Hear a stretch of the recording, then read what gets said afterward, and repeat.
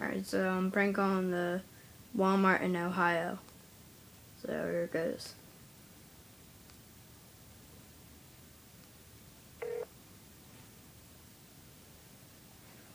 Delaware Walmart. Hello? Hello?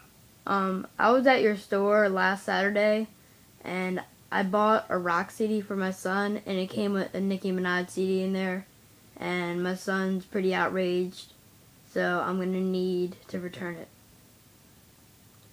Let me get you service desk. Okay. Okay.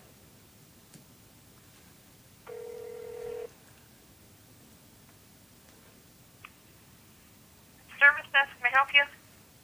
Oh, Hello, I'm gonna need to return a CD. I'm sorry?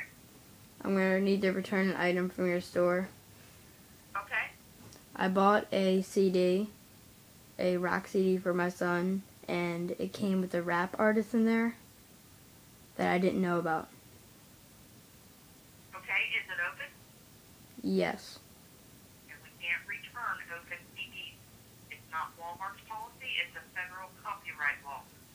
Well, I open it and it's not the right thing in there. What do you mean it's not the right thing in there? It wasn't the right CD. So you purchased the CD, but it has a different CD in it than what it says on the front? Yes. Alright. You're gonna have to talk to management. Hold on.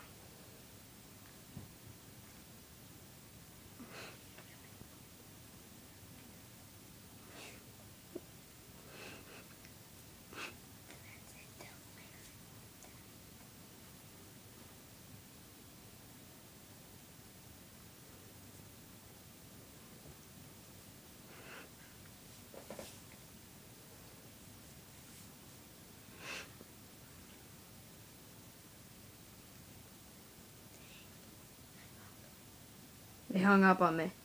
No, they didn't. Yes, they did. Let me see. Want to see the screen? Oh shit. They hung up on me. Wait, record, record it. And that was nice, I guess.